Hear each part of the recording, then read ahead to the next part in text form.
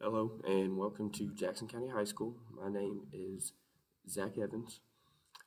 I will be teaching Algebra 2 and AMDM. AMDM stands for Advanced Mathematical Decision Making. This will be my first year as a teacher, but I have been in the school system since I was probably about four. I'm a graduate from Jackson County, class of 2015 and after high school, I also started coaching football and wrestling. I've been coaching wrestling for the past six years. I am the head middle school coach, while I also assist with the high school. I am the defense coordinator for the middle school football team. And I love being able to be in the classroom around students, helping and guiding them as well as after school helping and guiding the athletes. Um, I, I love giving as much as I can to every single student, just as my teachers did to me. And I want to be able to make that impact on each student's life. A little bit about the courses, all right?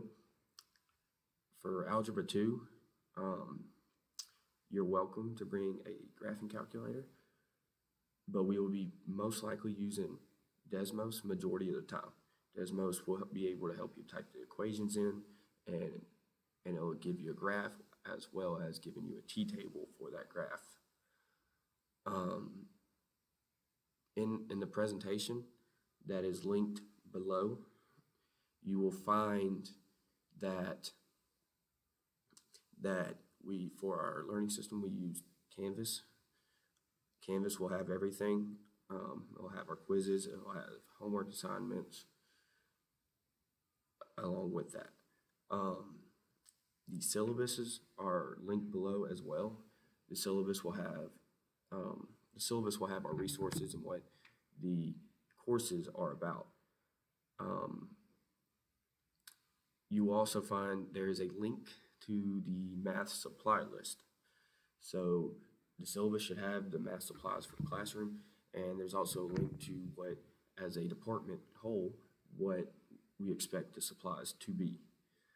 Um, especially using in math, it's especially good to use pencils. Pencils help you erase. If you make a mistake, you can go back and erase it. Um, I personally would like composition notebooks because we will do warm-ups before we get class started to review the previous topic of the day before. Um, and being able to also have a just a plain old folder, being able to put in homework assignments, um, graded quizzes, graded tests, which that will also be on Canvas. Um, I want to be able to the students keep up with their materials, make or keep up with their homework, their assignments, and quizzes, everything because those can be references back to okay, what am I missing? What what part of the concept was I'm missing and go back and look at it. And then we can also talk it through. Um, my communication with parents, students, um, yeah, my email is attached as well, zevans at jcss.us. I will also be using Remind. Um, I'll be sending out a code for that later. Um, we'll be using Remind to communicate with the parents. I don't um, with you know and students with knowing when something is due, when something, when a test is coming up, when a quiz is coming up, making sure that everybody's on the same page. Um, to me, to be you know, for me to be successful in the classroom, I got to make sure that the students, me, as well as the parents, are all on the same page of what the expectations are. What what do we need to do to make sure that the students meet those expectations and those requirements? Um, and so, you know, I, plan on sending out the important stuff. I don't want to bombard um, everybody with a bunch of reminds.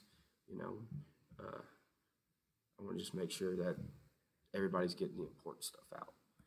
Um, I'm looking forward to a great year, and I'm looking forward to seeing every student coming in here on July 30th, Friday.